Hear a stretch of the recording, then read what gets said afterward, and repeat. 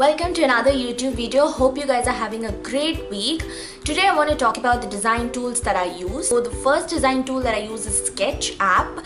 Uh, that's available only in Mac. So when I'm using working on my Mac, so I use Sketch for graphic design, then UI design, uh, either for mobile or website, and also if I want to do any like GIFs uh, so I use Sketch for that if I'm working on Mac. If I'm working on Windows, I know three design tools that is Adobe Photoshop, Adobe Illustrator, and uh, InDesign. I use these three for different things.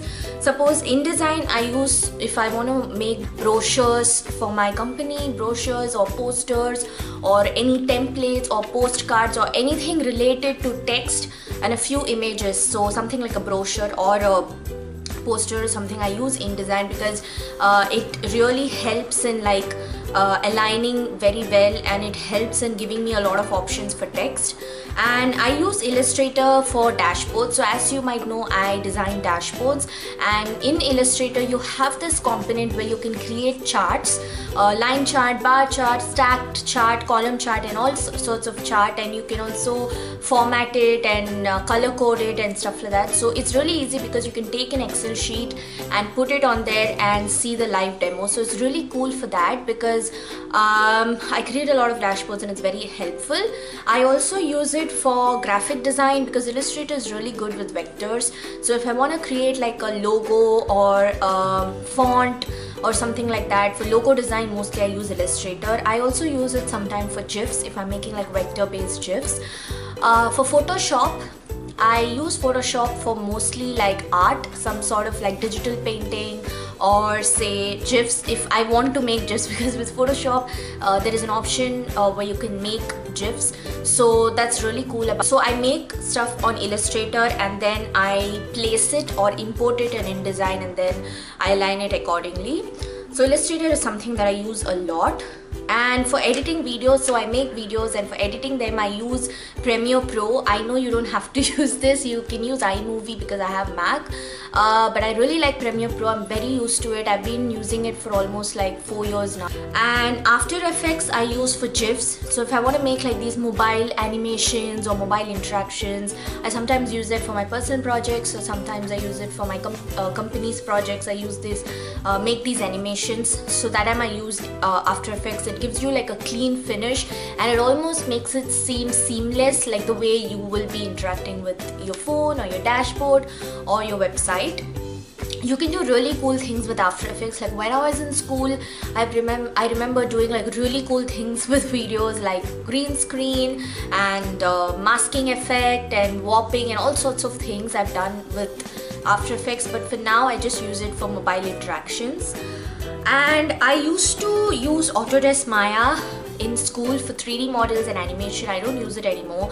But if you want to make like uh, interactions and um, any like if you want to market something like your product or something it's really cool to use uh, Autodesk Maya.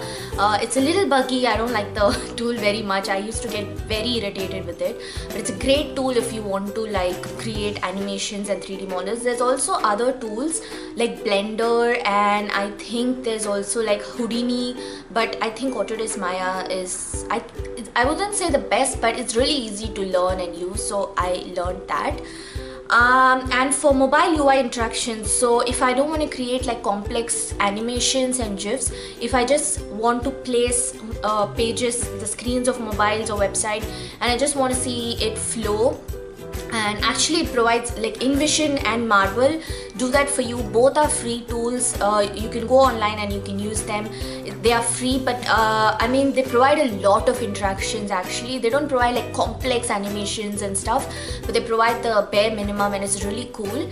Um, and you can also use these Marvel uh, if you create a user interaction you can embed it in your website or in your uh, blog or something like that um, other than that, I use Balsamiq. So Balsamiq is something that we really use a lot in our company because we create a lot of dashboards and wireframes. So for wireframing, I use Balsamiq, uh, just without any design layout, any colors. I mean, it's really cool for colors as well, but just a basic wireframe and storyboarding, I use Balsamiq. So it's really cool.